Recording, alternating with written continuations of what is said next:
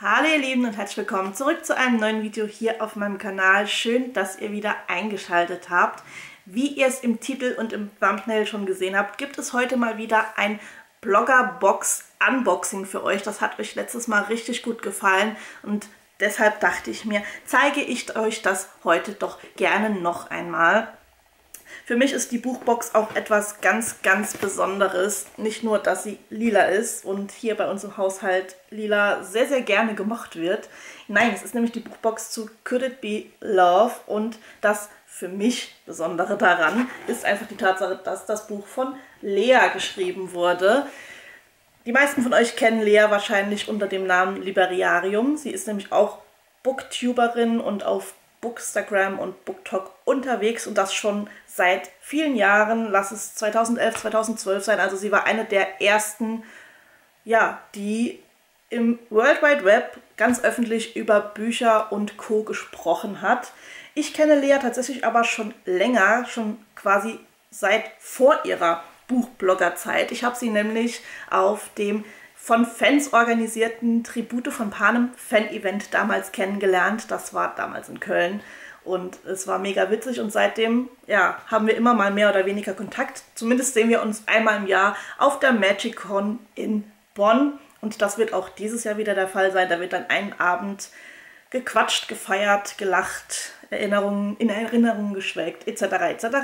Aber darum soll es heute nicht gehen, denn ich möchte euch zeigen, was der liebe One Verlag mir da Schönes zugeschickt hat. Und da möchte ich mich auch gerne nochmal beim Verlag bedanken. Ich finde das nämlich nicht, oder für mich ist das nicht selbstverständlich, zu einem Buch auch eine Bloggerbox zu erhalten, weil ich es nämlich schon als ja, große Ehre empfinde, wenn die Verlage einem ein Buch zur Verfügung stellen und nicht noch viel mehr außenrum. So, ich habe mir jetzt hier ein Messer geschnappt und werde das jetzt mal hier aufschneiden. Ich habe es extra noch nicht gemacht, damit nicht beim Thumbnail-Schießen auf einmal die Kartonage auseinandergeht. So, ich mache es wie immer. Ich stelle das Ganze mal hier hin. Vielleicht sollte ich die Kamera ein Stückchen runterdrehen. So, damit das auch besser passt. Ich schneide zwar damit meinen Kopf ein bisschen ab, aber ich denke, das ist okay für euch.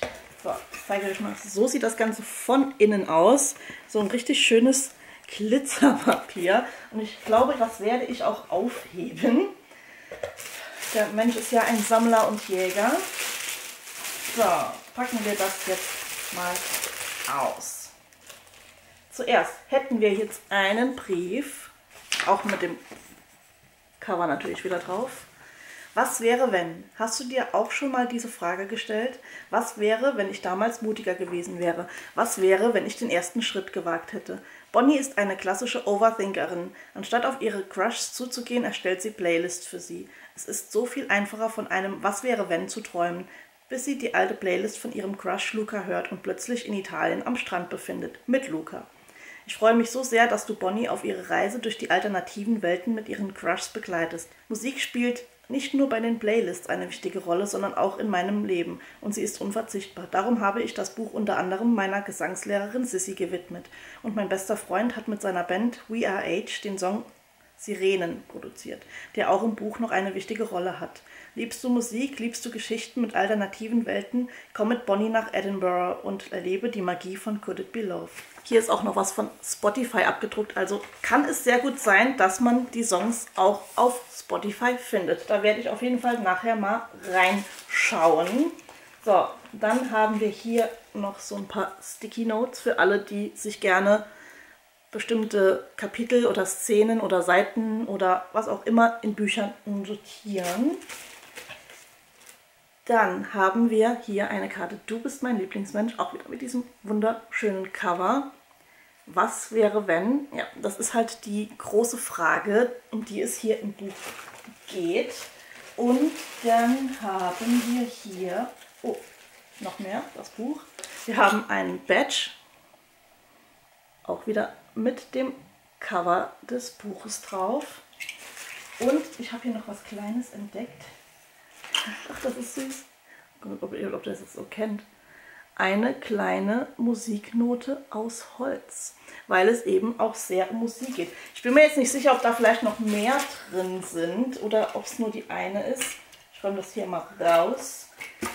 Da ist nämlich noch ganz viel so kleines Packpapier drin. Und ich würde mich jetzt nicht wundern, wenn da irgendwo darunter noch mehr von diesen Noten sind. Ja. Zwei. Also ich glaube, es sind insgesamt zwei Noten, zwei verschiedene. Wenn ihr das seht. Ich packe das jetzt mal nochmal hier zusammen. So. So. Dann stellen wir das mal hier in den Hintergrund. Und widmen uns, kann ich die Kamera wieder ein Stückchen hochschieben, First World Problems, ähm, ja, widmen wir uns mal dem Buch. Also, hier ist dieses wunderschöne Cover, das wir jetzt auch schon überall gesehen haben. Rücken, Buchschnitt, auch in diesem lila gehalten, beziehungsweise ein bisschen mit Farbverlauf, so wie es eben auch auf dem Buch selbst ist. Und sie hat es auch signiert, das ist super süß. Ansonsten hätte ich es nämlich mit auf die Magicon genommen, dann hätte sie mir das persönlich signieren können. Und hier vorne drin ist auch noch die Playlist. Normalerweise ist die ja ganz oft hier auf den ersten Seiten irgendwo abgedruckt, aber hier wurde es mit ins, ja, ins Cover quasi, in die Innenseite des Covers mitgenommen, weil es eben sehr, sehr stark um Musik geht in diesem Buch. Da macht das auch Sinn. Lukas Playlist, Ambers Playlist. Muss ich definitiv mal durchhören.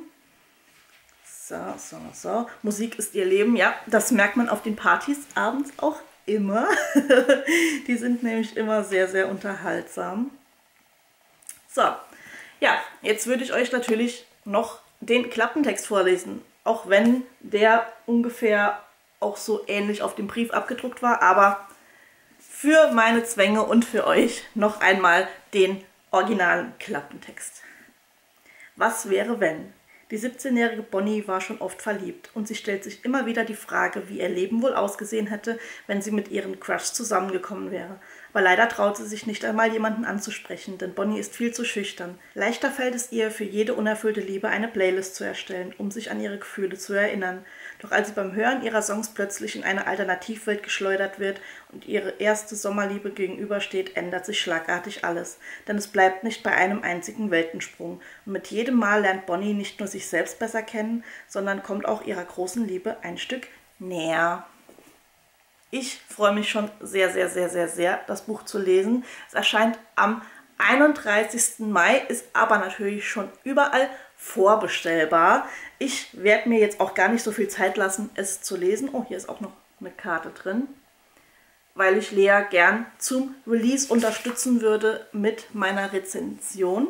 So als kleines Off-Topic am Rande. Wenn ihr einen eurer liebsten Autoren oder Autorinnen unterstützen wollt, müsst ihr gar kein Buchblogger sein oder gar kein Social Media nutzen. Es reicht wirklich schon, wenn ihr auf Amazon das Buch bewertet. Ihr müsst da auch gar nicht groß was schreiben. Es ist wirklich, es reicht, wenn ihr dem Buch einfach, wenn es euch gefallen hat, vier, fünf Sterne gebt und dann, ja, finden wir Autoren das sehr, sehr klasse, weil ganz wenig Leute das tun beziehungsweise sie denken, sie müssen immer was dazu schreiben, aber das ist nicht so. Uns helfen diese Sternbewertungen schon enorm. Also wenn ihr Lea unterstützen wollt oder wenn ihr einen anderen Autoren, eine andere Autorin unterstützen wollt, dann könnt ihr das so tun. Es dauert fünf Sekunden und hilft uns ungemein. So, kurze Notiz am Rande. Das war's jetzt von mir. Ich wünsche euch jetzt noch einen wundervollen Tag. Bestellt alle das Buch vor. Unterstützt Lea damit. Und ich hoffe, wir sehen uns auch beim nächsten Mal wieder. Bis dann. Habt's fein. Tschüss.